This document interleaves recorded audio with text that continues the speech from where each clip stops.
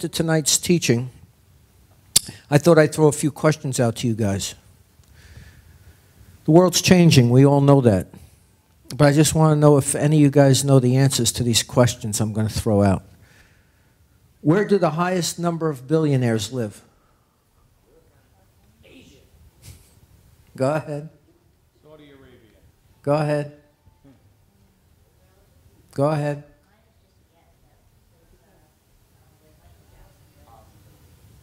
Okay, you're going to be shocked when I tell you where the highest number of billionaires live Moscow.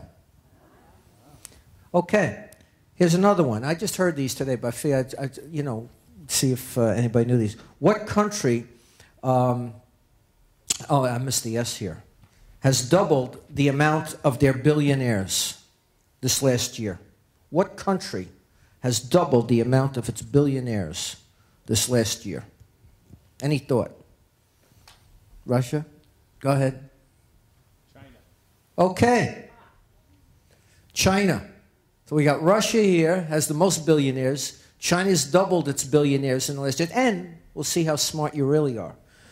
Where does the wealthiest person in the world live? Oh, boy, you guys are real smart. Mexico. How many know our world has changed? Before all of this, how many know it was the United States? Okay? So we see something is happening. There is a shifting of the wealth of the world. Remember when we heard our president when he said we want to distribute what? The wealth, move it around? Well, let me tell you, he doesn't have to worry about distributing it. God's distributing the wealth around. But um, last week we looked at an inside, or we got an inside uh, uh, look at what we believe, or at least I believe from the way I read Scripture and I see the signs. The Bible says that we have to be people who understand the signs of the times, of, of the beginning of sorrows. We're not in the tribulation period. But without question, we talked about last week, one of those signs was the increase of iniquity. How many know there's no doubt at all that the sin level has gone up in our world? There's no question things that at one time were considered wrong are now considered right. Uh, I'm not going to get into all that. That's all on CD and DVD. We have that. But the next thing I, I wrote on there was the increase, and this all comes from Matthew 24. His disciples said, Lord, how will we know it's the end of the world and that you are going to return? The second thing that, that is mentioned there is the increase of instability. And I have no doubt at all right now that we are probably in one of the most uh, difficult seasons of life in our world today. People have no clue. They really have no clue to what the outcome of what is going on is going to be later on determined. Because when you look at even our own revolution in America, uh, it was quite a few years be between the, the forming of it and then where we got to the place of writing our Declaration of Independence and then eventually our Constitution. And one of the ironies of insurrection, I'll give you one of these right now, is what happened today if you follow the news in Egypt. Does anybody know what's going on in Egypt right now? They're revolting in the streets right now. Women are being abused because they want women's rights, and they're being abused by the men. The Christians were just, I forget how many got killed and injured by the Muslims. So even though there was this supposedly wonderful uh, intent of democracy, this insurrection that came about now is just, uh, you know, uh, cascading into a much greater event because now you have all these groups coming to the forefront, and who knows what leadership will eventually transcend uh, Mubarak. So uh, a lot of the instability is broken down, what I believe, in three areas right now. Number one, we see it all over the world insurrection, which is revolution. For anybody that didn't know, they asked me, somebody asked me a question about iniquity. Iniquity is just sin. But uh, insurrection is happening not just in the Middle East, it's happening now all over the world. Uh, without question, God is in control of all this. He's allowing these unstable times for His purposes. Secondly, because of what is happening, we are also seeing inflation take place. You can see that in the food market all over the world. In the United States, we can see it at the pump right now. We can see it uh, uh, in the barrels of oil and so forth. And uh, you know, things may get worse before uh, they get better. Only God knows that. And the last thing that's, I believe, bringing on the instability, and th- this is somewhat um, spiritual in nature, but uh, our whole series has been on the powers and principalities, angels and demons. And I don't believe it's just a matter of ideology, because I, I, see right now even one of our representatives out here, King, who heads up the Homeland Security, is getting a lot of flack about uh, trying to investigate what he calls extreme Islam or Islam extremists. And uh, they're trying to make him out, you know, some kind of a bigot and so forth. But anyway, the last thing that I, I believe is creating the instability is what I call an Islamic undertow. And, and what I mean by that simply is that this, that what we are seeing in the Mideast is not going to stay in the Mideast. It's on our shores in America right now. It's in England. It's in Europe right now. This is not about a Middle East crisis. This is about the mindset of the extreme radicals and even many moderate uh, Islams who believe that it would be a better world if you had Islam ruling the world. Now, I just want to share with you real quickly, I don't want to spend too much time. When you have Islam running the world, you have Sharia law. Ladies, you don't want to be under Sharia law. I'm not going to get into all the awful and uh, diabolical or uh, diabolic, uh, you know, things that go on uh, with Sharia law. But it, it's an awful thing, Sharia law. Women are like uh, almost second-class. They are second-class citizens. But the, the, beyond that, you have um, the extremity of the caliphate, which, which basically is a world that is ruled by Islam. Either you submit or you're done. That, that, that's the bottom line. That, and that, that's, that's where we're talking about instability in this moment. So, anyway, uh, to say all that, I'm, I did not even get to the scripture yet, and, and, I'm not in a rush with this because this is significant what I'm going to be sharing with you in the next two weeks. Uh, I was in uh, Brooklyn in a uh, area the other night with my wife and another pastor and his wife, and my wife said, "Oh, grab a hold of this uh, newspaper," and it was for free, and it's called The Jewish Voice. And um, I'm not going to spend uh, too much time uh, on this, but I just want you to see news not from the American perspective, because there's a bias, there's a spin on American news. If you put on Al Jazeera, they have their spin on American. Everybody has their own spin. But I just want you to see it from the sense of how Jews feel uh, in Israel. In other words, they're the ones that are surrounded by all of these people that want to push them into the ocean and uh, or the Red Sea, I should say. But uh, I'm just going to go through these real quickly. I'm not here to attack. I'm just going to read the Jewish Voice. That's the name of the, the, the newspaper. And the first one, or one of the pages, is just one newspaper. It says, Our World, the Legacy of a Teetering Peace. As Israel moves into the uncharted territory of managing its relationships with post Mubarak Egypt, it is imperative that our leaders understand the lessons of the past. One of the first casualties of the Egyptian revolution may very well be Egypt's peace treaty with Israel. The Egyptian public's overwhelming feeling towards Jews renders it politically impossible for any Egyptian leader to come out in support of the treaty. And that, that, that, is, that is the whole Islamic world. They hate Israel. And I, I mean, no matter what this biased liberal press in our country says, no matter what liberal teachers and clerics that come and talk on TV, this world in the in that part of the world, and not only them, others in other parts, but especially that part, they hate it. They don't want Israel to exist. And so, uh, the leader, uh, the head of the opposition right now in. Um, in other words, the man that's heralded to uh, take over from Mubarak, a democratic alternative to Mubarak, uh, by Washington neoconservatives has called for the peace treaty to be abrogated. Now, now this, this is the next leadership that's coming in. You see, you have to understand, Mubarak was a terrible dictator, but he wouldn't allow Egypt to go in and attack Israel. So that's why he was considered somewhat of an ally, because we were protecting Israel. And so, like they say, you know, the, the worst of the evils. All right, he was a terrible dictator, but we felt that at least he would be, you know, a, a defense towards Israel, which he was.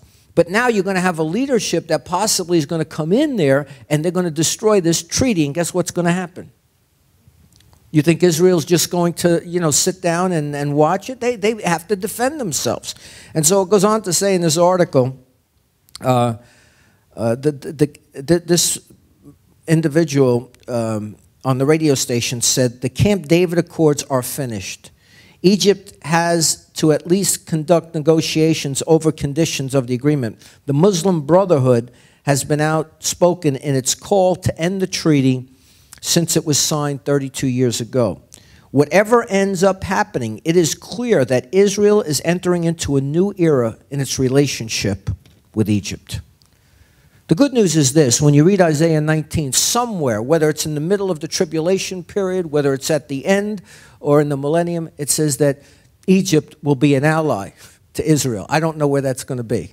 But uh, the, the question is, is that, you know, is, is God speaking from a perspective of after the tribulation period that now you have these countries that align themselves with Israel after they see what God has done. Only God knows that. I'm not going to make any kind of uh, prognostication of when Egypt becomes an ally of Israel. But the way things look right now, Egypt is not going to be an ally of Israel at this present time.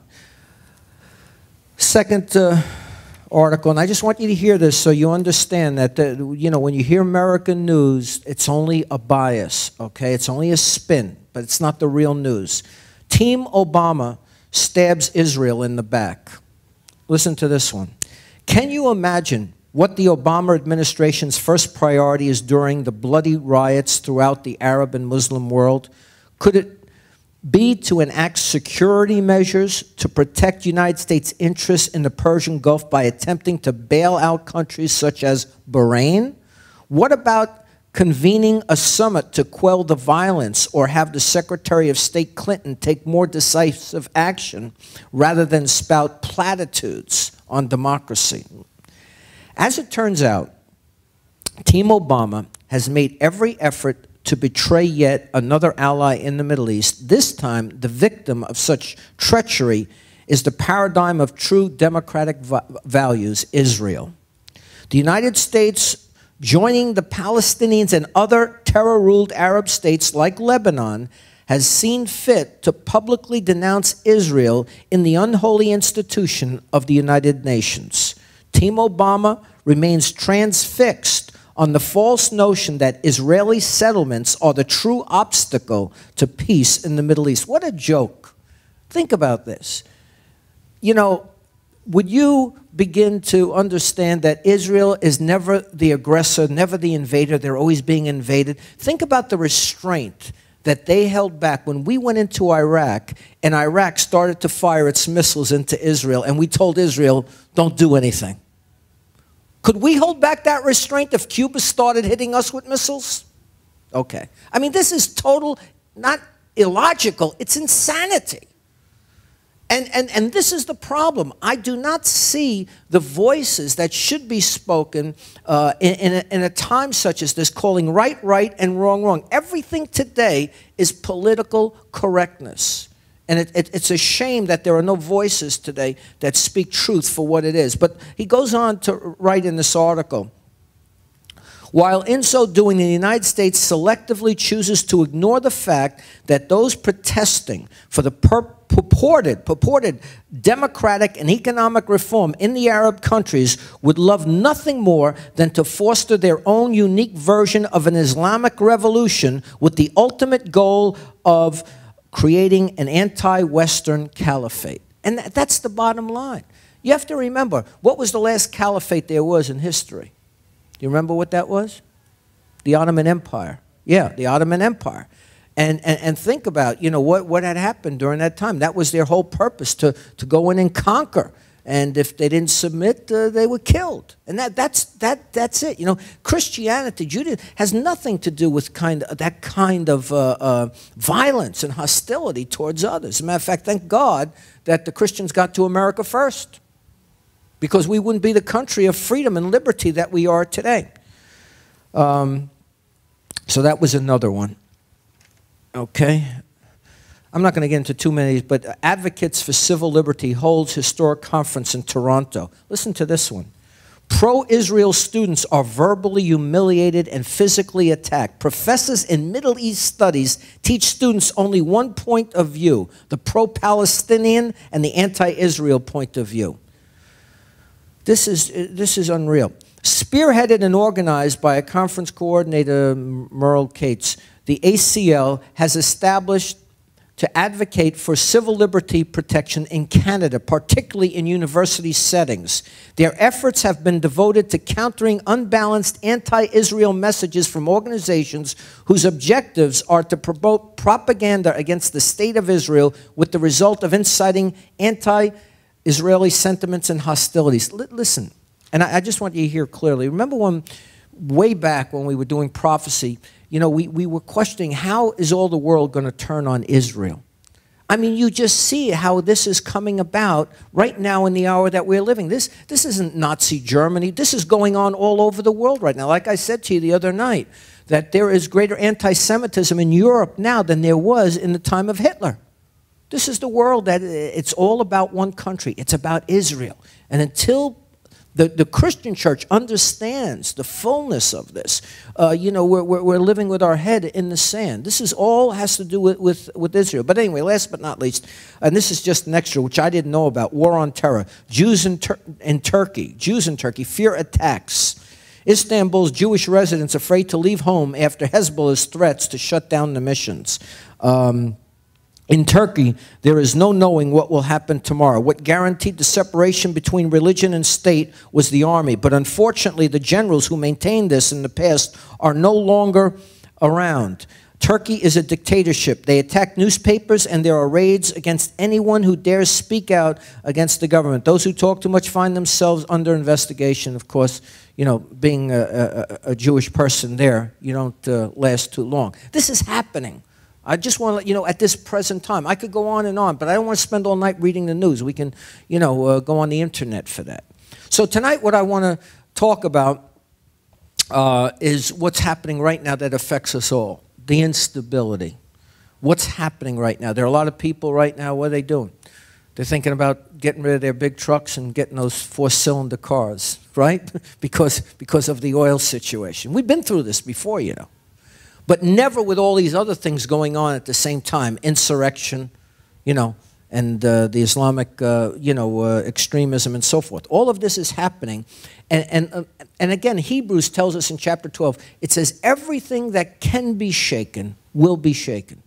And so uh, tonight I want to take you, if you will, to Luke chapter 12, 54 as we start tonight. You can see it up on the um, screen. But um, oil has become the new gold in the world economy. Not that gold isn't going through the roof right now either. But uh, oil explains uh, why the Bible focuses its end time attention in the Middle East. Um, the five top countries uh, in the world today uh, um, that have the greatest oil reserves are guess where? In the Middle East.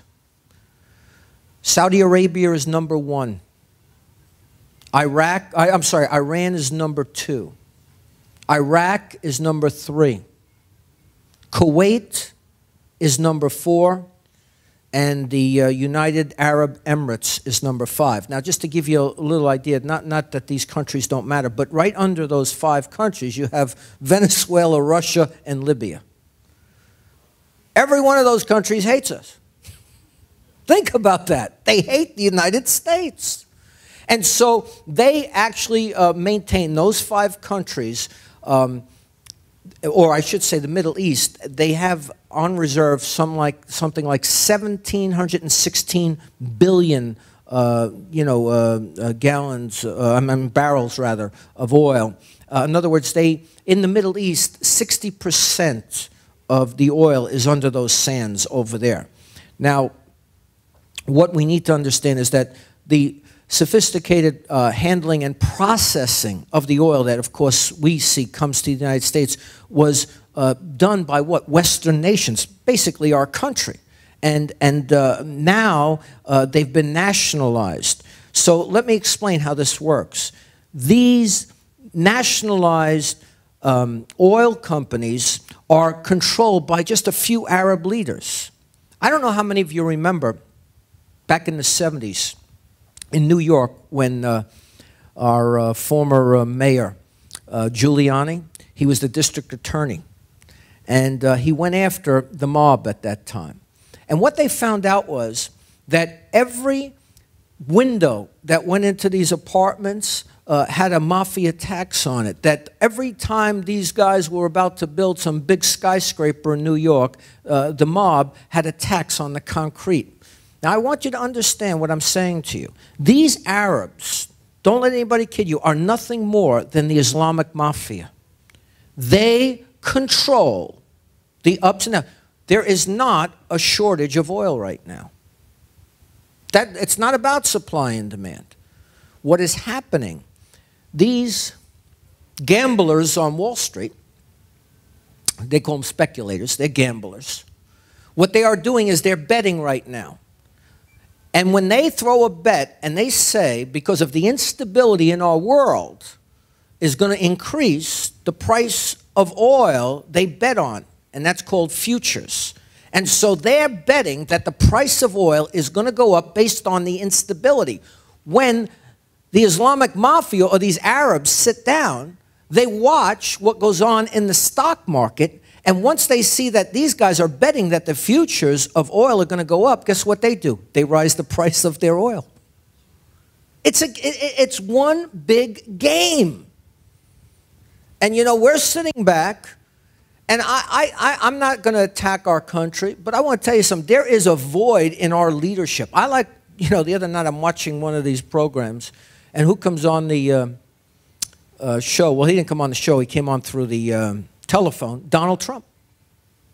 And so the question that was asked to him was, Are you going to run for the president? Because he's giving serious consideration to running as a, as a president. And he said, Well, I'm not going to make that decision till June. But he said, We are selling our country out at this moment. And he said, If somebody doesn't get to the plate, we're not going to have a country left any longer. And I agree fully with what uh, he said. And you know what? Sometimes you need a businessman in there rather than a politician, especially a successful one. But I'm not here to promote any politics. What I'm here to tell you is that we are in deep trouble. But who's in deeper trouble? I believe that, again, there's no watchman today shouting from the rooftops. Guess what? This is what the Lord said is going to happen, and the church needs to rise up to the occasion. How many know the only hope for this world is the restraining force of God's army, his church. And, and so watch this, because in Luke 12, watch what it says, verse 54. And Jesus said also to the people, When you see a cloud rise out of the west, straightway you say, There cometh a shower, and so it is. Oh, it's right up there. And when you see the south wind blow, you say, There will be heat and it cometh to pass. In other words, he says, you know, you guys can understand the signs out there in nature. And so when you see those things coming, you know, you're, you're aware of that. But watch what he says. He says, You hypocrites, you can discern the face of the sky and of the earth, but how is it that you do not discern this time? And that's my, if you want to call it, itch, spiritually speaking, why the church hasn't done more than Glenn Beck.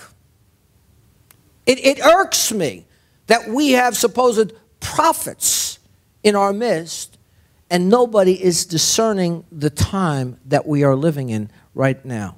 But I want to just share some things so you can understand not only the time, but also our response to it. Because again, I'll use Issachar. They knew the times, the children of Issachar, 200, a remnant group in Israel, but they also knew how to respond to those times. It's not only knowing what time we're in, but when you're in that time, what do you do? How do you respond? And so uh, if you will uh, just look with me carefully tonight at Proverbs chapter 18, verse 11. Without question, what has happened to our country? We have sold out our integrity to gratify what? Our luxury. What, what do you mean, Pastor? Listen to this guy, and I don't even think he was an American who wrote this. It's an article called The Power of Oil. His name was uh, Dilip Hiro, and he wrote this. He said, The fact is that political leaders all over the world are committed to raising living standards through economic growth, heavily dependent on energy, which of course we know is oil and gas. Since 1932, when American oil companies acquired a stake in the oil reserves of Saudi Arabia, Washington's policies have been geared to securing Middle East oil at the expense of all else. Now, this is important for us to hear because even at times we have defended certain individuals because of one thing the bottom line figure, the oil, the money. And I want to say this when the character of a nation becomes corrupt, guess what happens?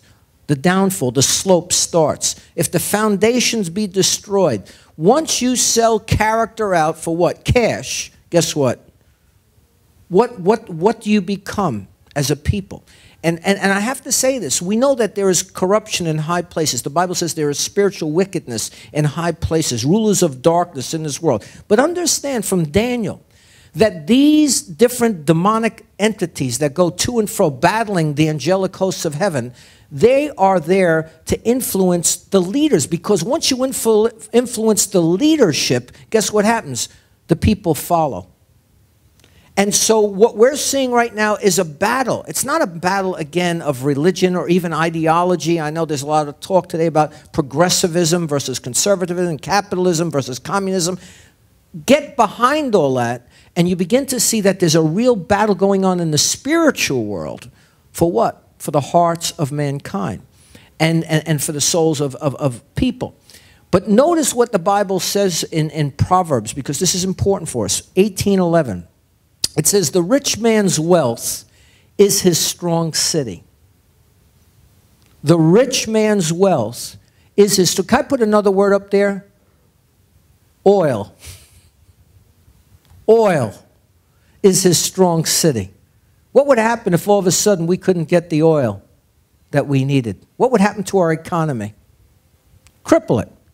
Notice, and as a high wall in his own conceit. And what God is saying here, or the writer here, Solomon writing this, but God is saying to us, and this is this, that uh, woe is the man that puts his trust in what? Riches. How many know on our dollar we have, we put our trust in who? In God. But what has happened, once you move God out of the picture, guess what? You then begin to put your trust in something else. And so if we go back to our foreparents, you know, uh, or I should say the, the, the founders of this country, and you look at them, when they sat down, the first thing they did is they got together and they prayed. That's what happened. They, they, before they did anything, they prayed. And then they began to reflect and to begin to think. And they used, I believe, without question, the Bible as the foundation. And that's why we have the great Constitution that we have. But little by little, over the last hundred years, we have seen more and more the elimination of those founding principles. And with that, character is corrupted. When you think of the character of our country today, think about and I'll just make it very simple. When people went to one another and a guy came over to, to lay bricks for you and he said, I'll do the job for $500, and you shook a hand. How many know? Those days are far and few in between. Why? Because the character is no longer truthful and honest and of integrity. And that comes what?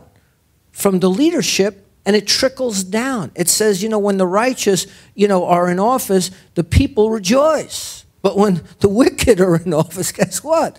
This great sorrow.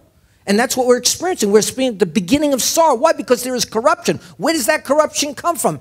Increased iniquity. And because of that increased iniquity, now you have what? Instability. And that's where we are right now. You will never stabilize until you change what? Character. The Re Reformation has to begin what? In the heart of man before it's ever done with his pocketbook.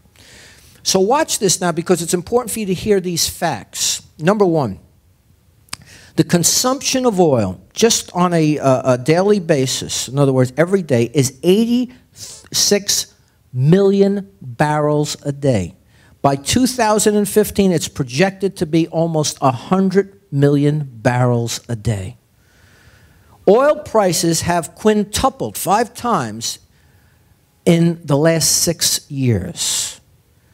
Number three, the psychological barrier of $100 a barrel has been breached, and because of this, the commodities market is going wild right now.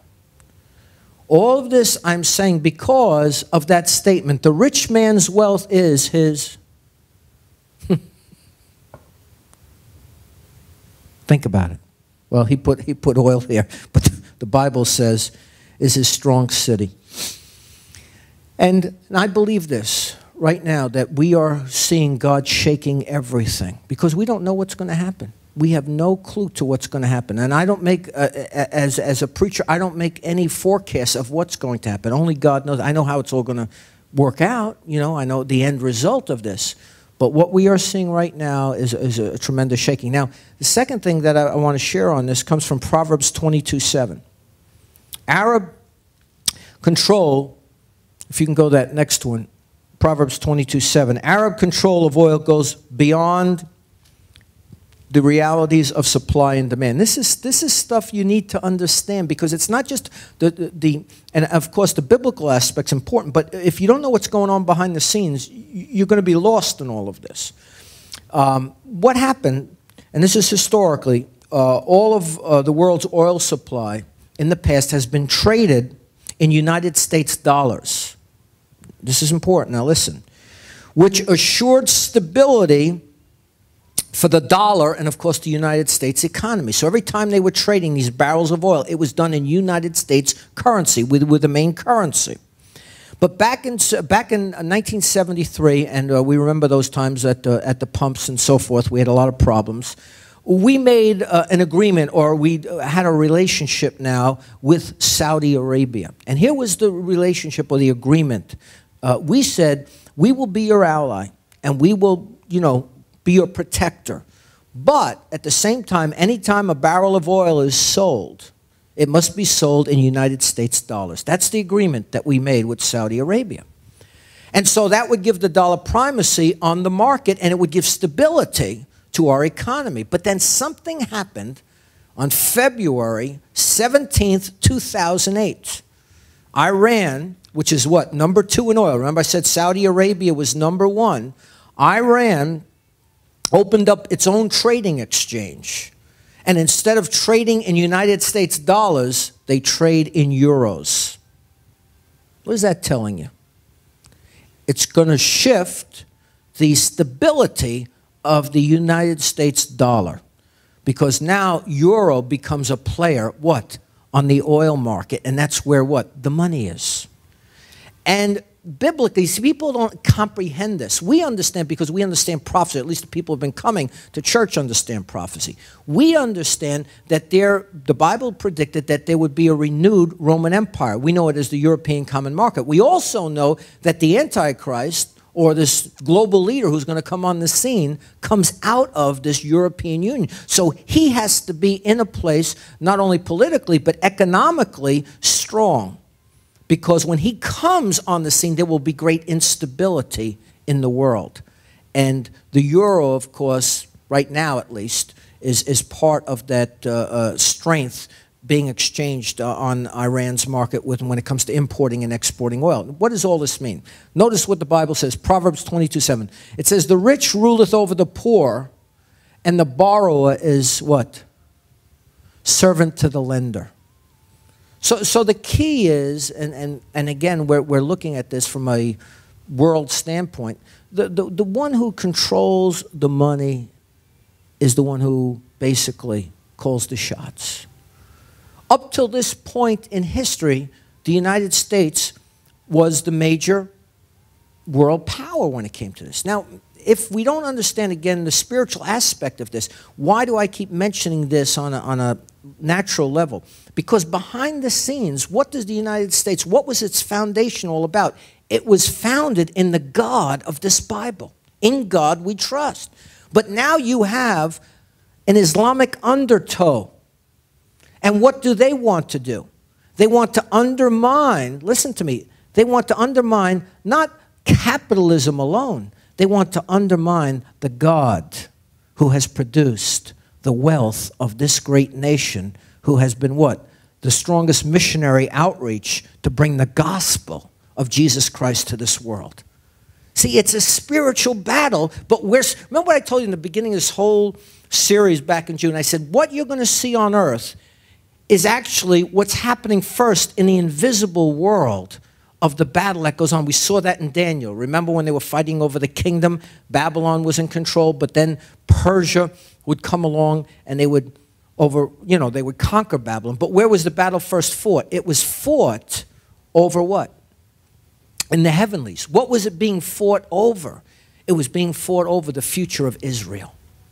Everything has to do with the covenant that God has from beginning to end with Israel. Because, like I said, if the promises of Israel are not fulfilled, then God becomes a myth, and so does this Bible.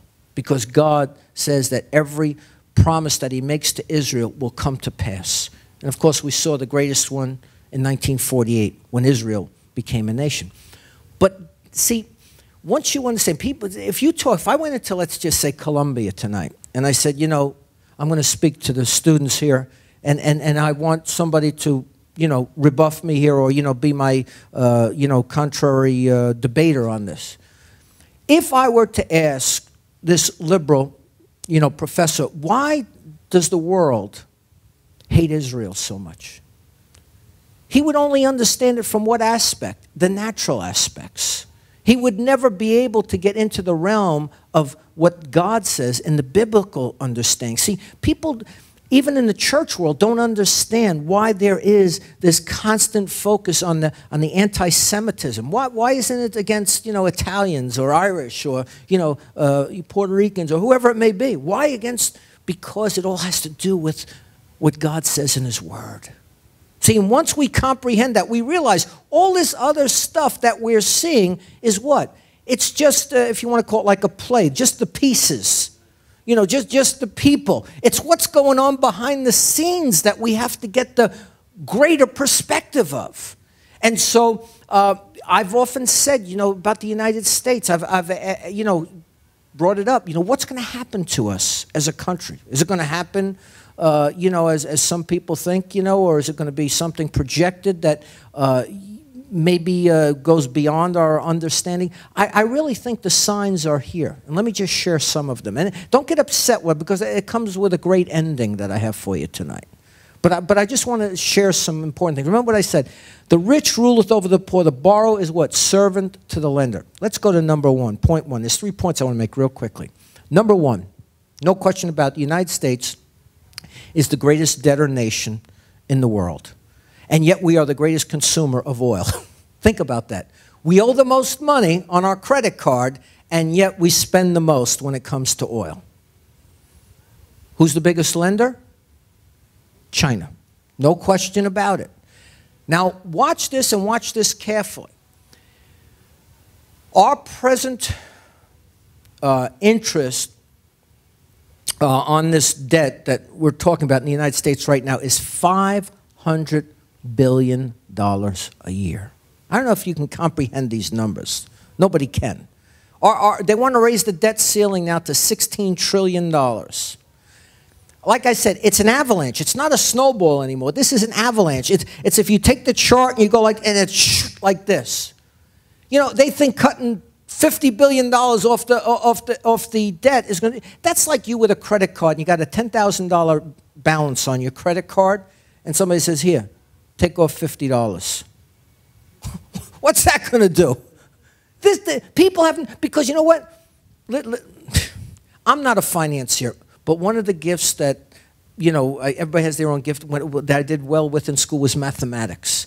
And so I think of things really quickly in my head. I'll never forget my years ago, my wife and I were sitting down one day, we're driving in the car, I'm sorry, and I said to her, I said, honey, listen to me.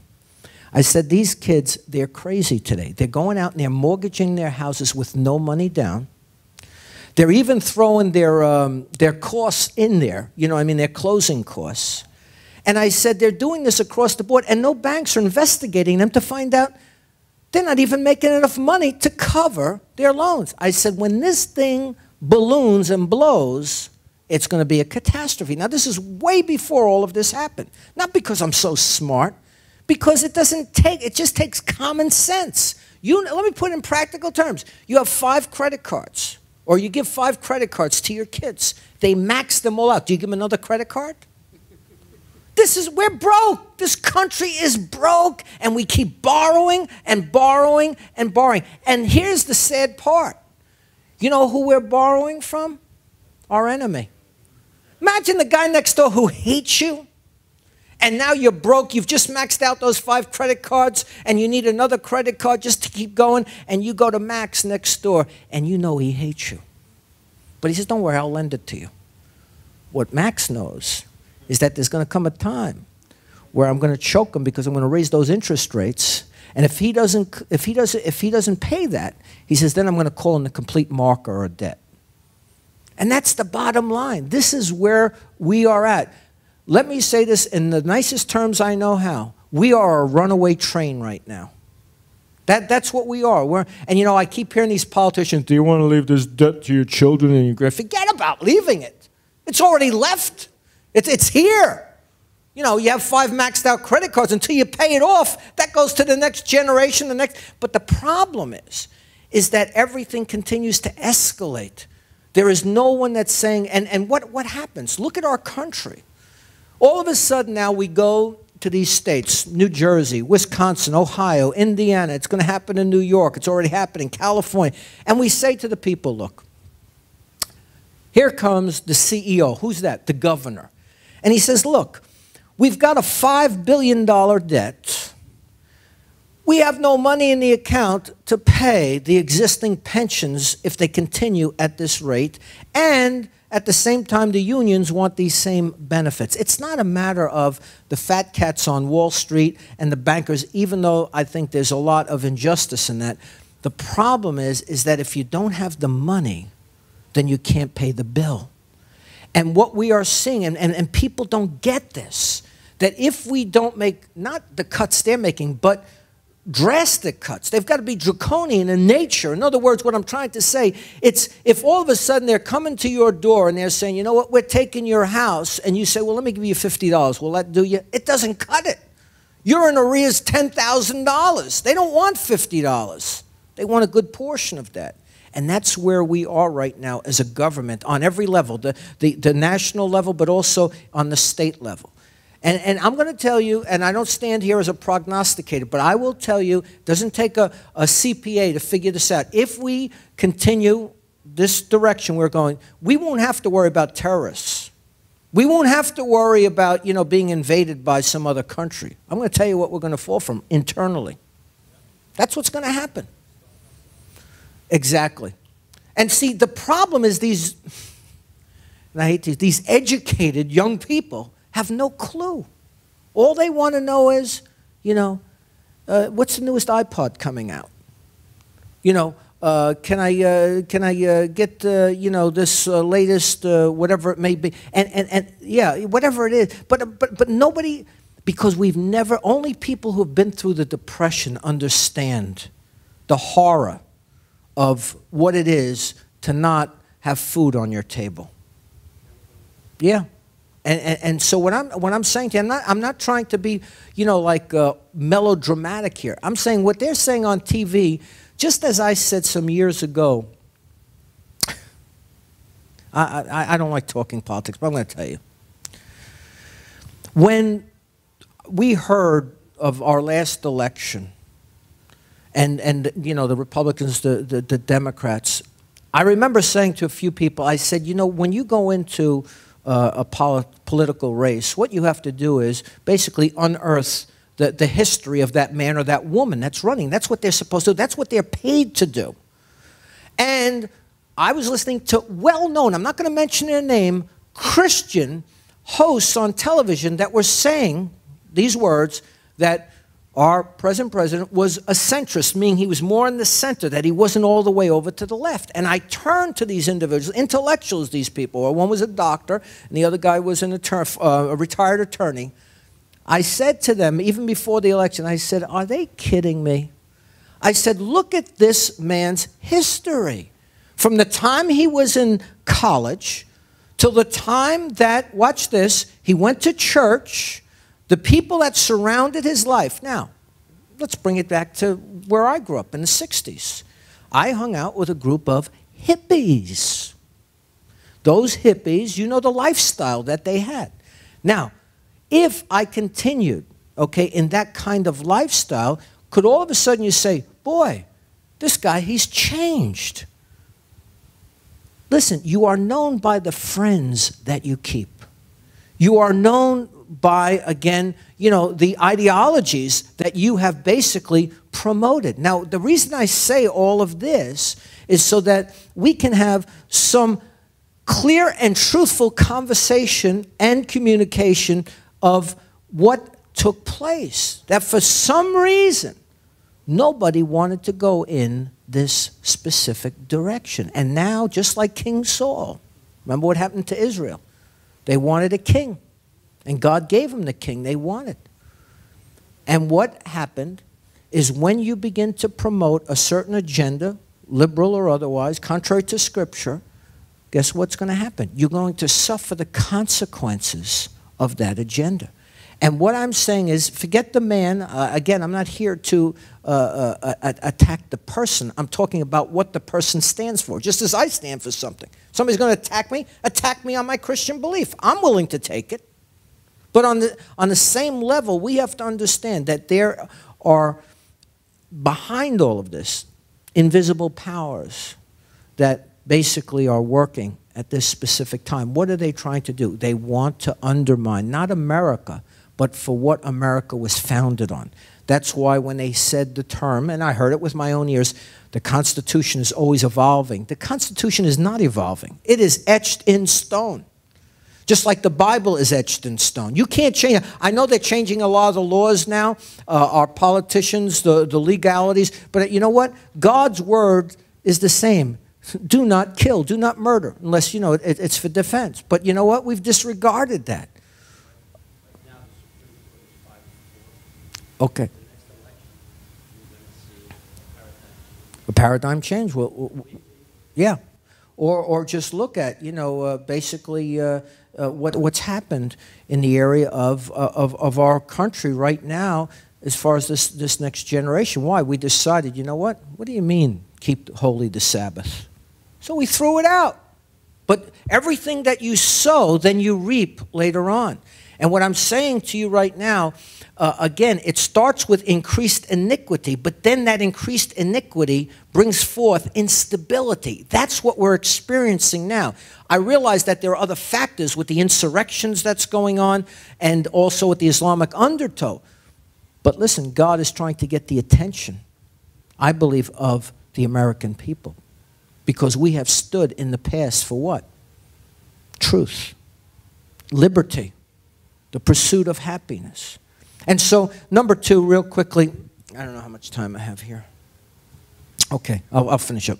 Um, secondly, the long term fiscal health of the nation is greatly endangered by the looming financial catastrophes of, again, entitlement programs. And I know we don't like to talk on these things, but I want you to hear this so you understand what's happening in our country. Both of them Social Security and Medicare. Why is this so significant? Listen to this. This is a fact. The number of workers supporting each retiree in America, Social Security again, uh, has dropped from five workers back in 1966 to three workers today, creating great stress on the financial health of Social Security and Medicare. As baby boomers retire, entitlement programs that currently compromise 40% of the federal budget will jump to 75%. Now, I know these are a lot of facts, but I'm trying to show you why I personally believe that if something is not done on a spiritual tone in America, we're headed down this slippery slope right now. It's not going to be done in human terms. It has to be done in spiritual terms. Remember I said before you see the observation of natural things, it has to be fought first in the heavenlies. That's where our battle is. Number 3 and last of all, listen to this. At the G8 summit meeting back in uh, 2009, the Russian president displayed a coin labeled um, United Future World Currency and advocated for diversifying the global currency system away from the dollar, a call echoed by two other countries, France and China. I wonder why France and China. China, we know. Why France? European Union. Think about it, okay? Listen to this. Former founder of Marxism, Lenin, said these words The best way to destroy the capitalist system is to undermine its currency. That's what's happening right now. This is prophecy being fulfilled in another dimension, of course. But what we are seeing basically is the collapse of America, and nobody's shouting it from the rooftop. It started what? With the spiritual what? Diminishing of value and absolutes. And now we are experiencing instability. And you know what? People are saying, well, you know, I'm still buying bread. I'm, I'm still driving my car. Listen, when it happens, when that, when that avalanche occurs, you know, you're, you're down at the bottom of the hill, you know, and you're, you know, people are, you know, well, what's happening? But when that thing comes down, forget about it. It buries everything and everybody alive. Do you know what they were doing right before the Depression? Roaring 20s. Party, having a good time. Life couldn't have been better. Okay? And that's what's happening. You know?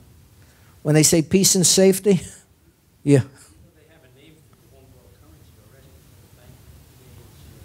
Okay.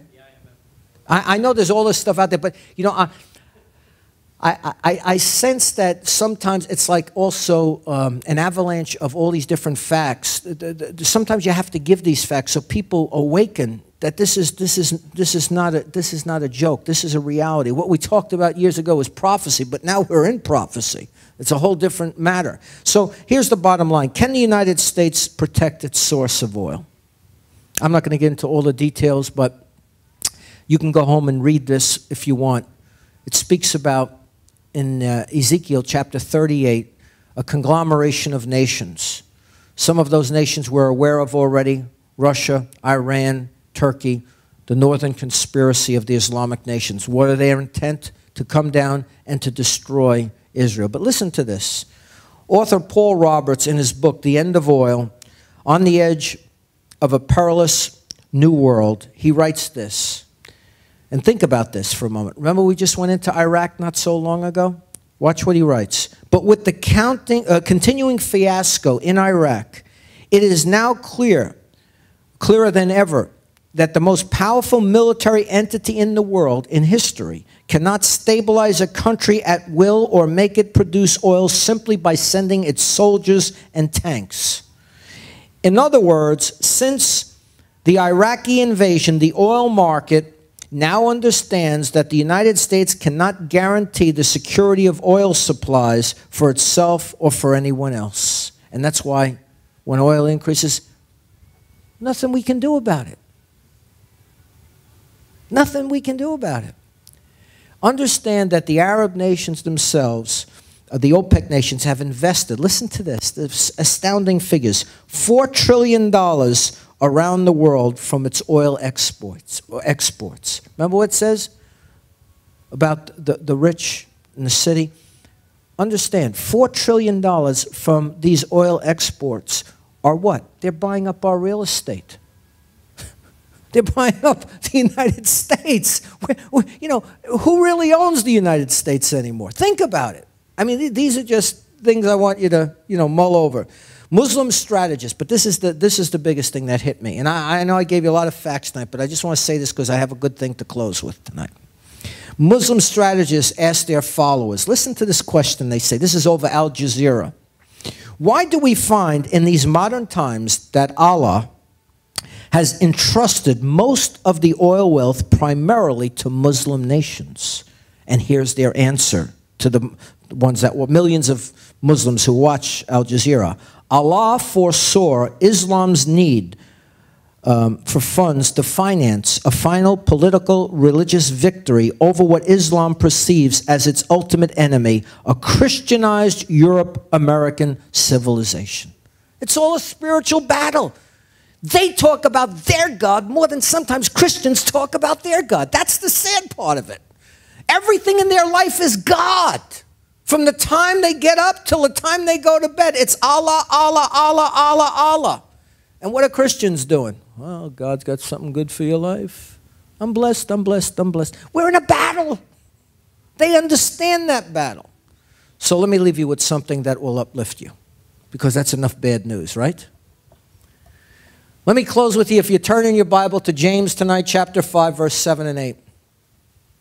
How can we gear our, our wills and our emotions, especially in this hour, to keep going forward in these troubled and bleak times?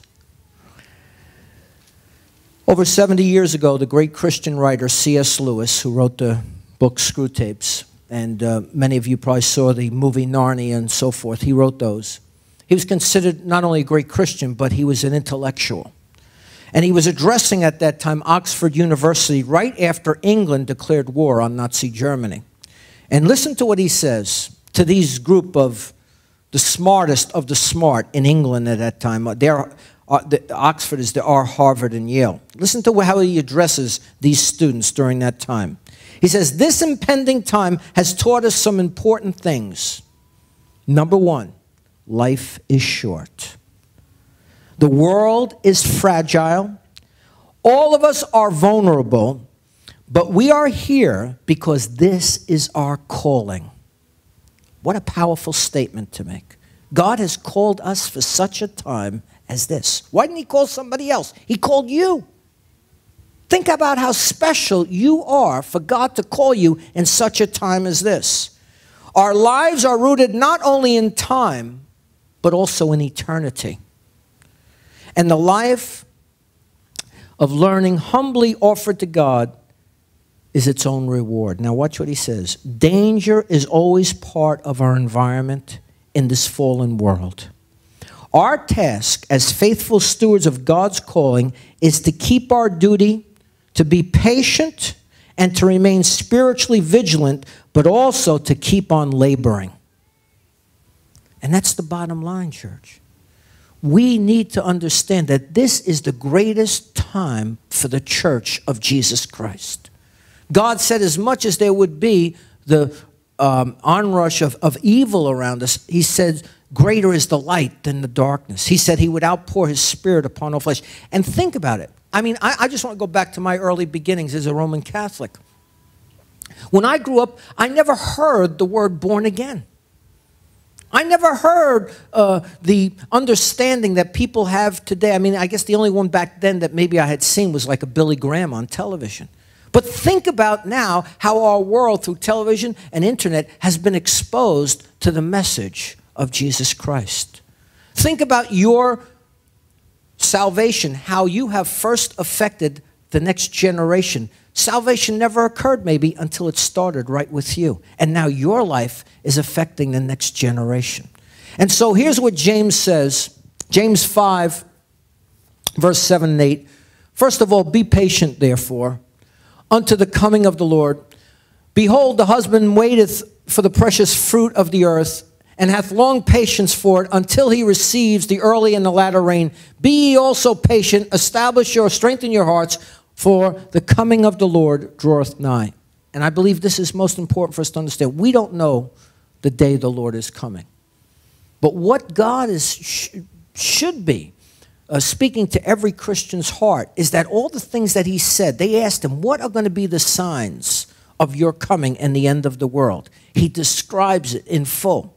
He says, This is not the end, when he describes these different things that we've been talking about increased iniquity, the hearts of men will wax cold, uh, instability, and so forth, um, ins insurrection, kingdom against kingdom. He says this is the beginning of sorrow. But once he gets done the beginning of sorrows, then he talks about the trouble that comes afterwards. Somewhere in this transitionary period of where he's talking about the beginning of sorrows and the great, what we call the great tribulation period, he says, then when that time happens, he says, flee from the mountaintops of Judea. Who's he speaking to? He's speaking to the Jewish people at this point. He's dealing with them as a nation because Paul writes it in Romans. He says, after the fulfillment of the Gentiles, so shall all Israel be saved. I believe that God has allowed us through the work, writing of Isaiah, to be that light at this time, at this season, because this final fulfillment or his final plan is not with the church, it's with the people of Israel. How many know we have our greatest day ahead of us right now? This is the church's greatest hour. And I believe just like uh, Winston Churchill stood or spoke before the people of England uh, on radio and to the other allies, he said, This will be our finest hour. When he was saying that, you know what? They were being bombarded by the Luftwaffe, dropping bombs on London. And what I'm saying, when it seems like it's the darkest hour, that's when God's church rises and the light is seen by all. And I believe that's what God wants to do in this hour. I, in my own spirit, sense that, again, I, I, my prayer is that He gives us a reprieve. You know, my, my, my prayer is a reprieve, that, that, that somehow people will get the message and, like Nineveh, they'll repent.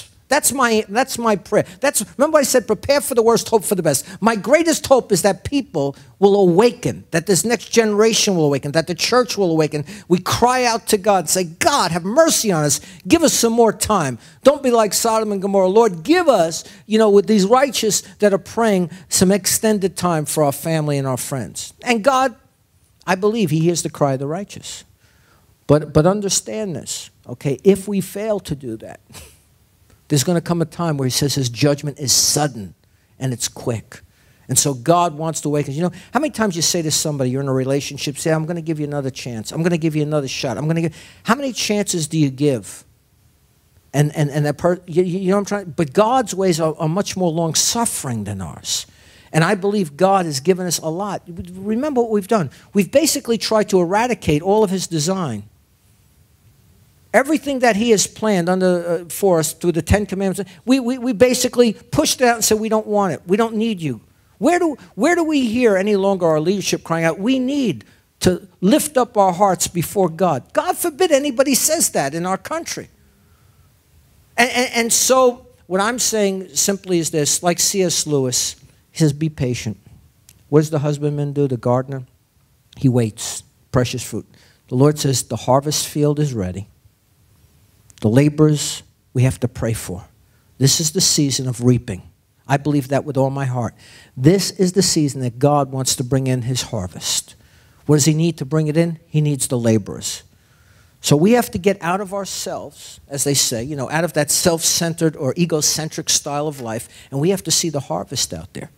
You know, people say, pray for my family. We have to witness first to our family. You can pray for your family all you want, but you have to share your faith, family, friends, and so forth. You have to pray. And then, like I said, one does a little what? Seed planting, another does a little watering, and then God brings in the harvest. So I just want to encourage you. I believe in hope. I know that God has a specific plan, and I don't say this arrogantly, but we are a special people. God has anointed us for this hour. And we need to walk in that anointing, in, in, in, that, in that power and presence of God. Because let me tell you, human, human ways are not going to answer the problems that surround this nation and our world right now. I mean, oh, this is a spiritual battle.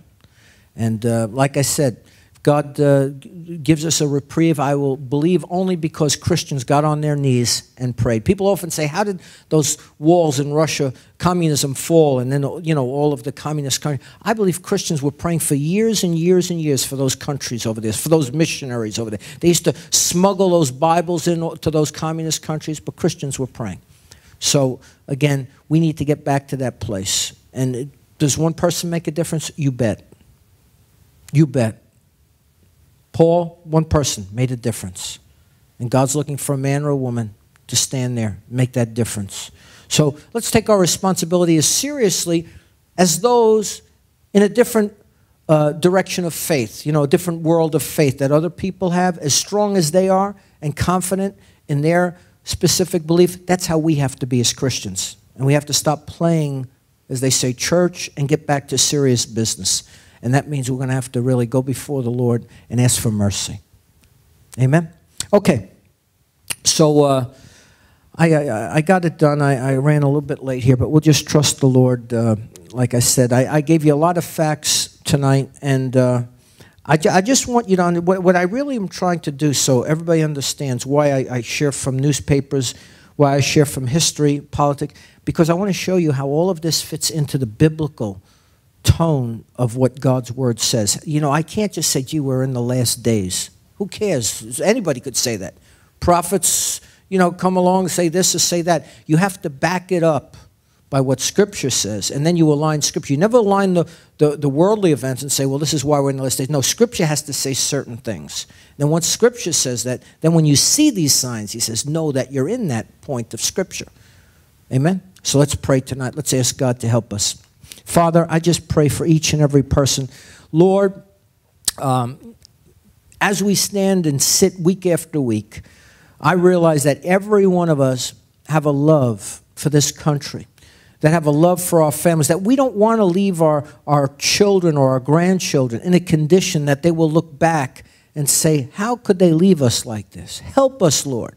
And as, as, as countercultural as it may be, as, as, as resistant as some that we love uh, may work against us right now, that Lord, ultimately, that you said that if we speak the truth, it will not return void. I pray, Lord, that your people in this hour will not be ashamed. Whether it's praying before a meal, whether it's sharing something redemptive or something that goes across a television network that they can use to, to bring out uh, a truth in your word. Lord, help us to be sensitive and awakened to the opportunities that avail us. And let us see the seriousness, Lord, not of the cars, not of the houses, not of the things of this life that sometimes too much preoccupy our life, but let us see the souls, O oh God of those that we care about, knowing that what does it profit a man if he has this whole world and ends up losing his soul? Help us, Lord, to be sensitive to that, O oh God, and not to be ashamed of the gospel that we so believe and treasure. In Jesus' name, and everybody said, Amen and amen. Uh,